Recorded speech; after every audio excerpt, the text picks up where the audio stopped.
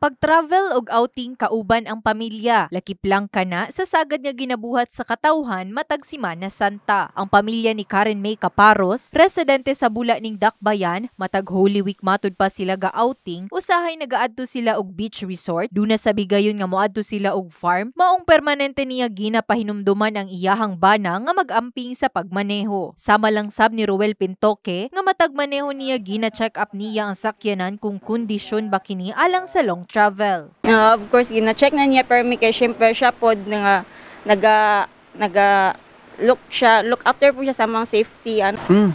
That is necessary for uh, isa ka driver tungod kay siyempre layo ang kadtuan so di na tumabalaan ng sa dalan so kinahanglan gyud kung pwede libuton sa makalimang sakyanan para nga sigurado gyud nga makaabot gyud sa kadtuan. Gani ang naabtan sa news team nga nagpa-check nga si Engineer Mario Barbero, nagpa-check sa usa ka auto shop aron mahibaluan kung kondisyon ba ang brake sa sakyanan aron masiguro sab nga luwas kining gamiton. Ang sakyanan ninyo dapat okay ang brakes. Ah, dapat ang water or cooling system niya okay pod para dili mo overheat while traveling. Tapos siyempre gasoline dapat dili pod ano ang ang kung okay ba ang flow sa gasoline. So dapat mo ng mga i-check during the travel. And of course, dapat dalang po ng water every now and then kay wala ta kabalo kasi na trouble on the road.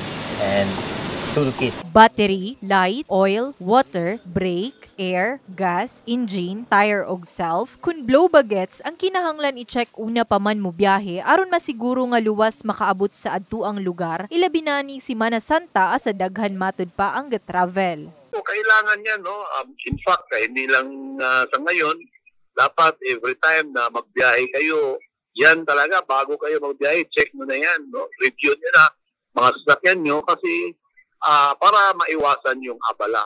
Base sa dato sa Vehicular Accident sa Traffic Enforcement Unit kun TEU Jensen kaniadtong Semana Santa Abril 10 hanto 16 tuig 2022 dunay natala nga 36 nga vehicular accident. Asa duha niini ang dunay namatay 23 ang samdan ug damage to property nga 11 samtang kaniadtong Marso 28 hantud Abril 3 tuig 2021 dunay 33 nga natalang vehicular accident. Asa usa ang namatay napulo ang samdan ug 22 nga damage to property. Gani nagpahinumdom ang otoridad nga mag-amping sa pagmaneho ning Semana Santa. Kini si Liza Labajo, in the heart of changing lives. Brigada News.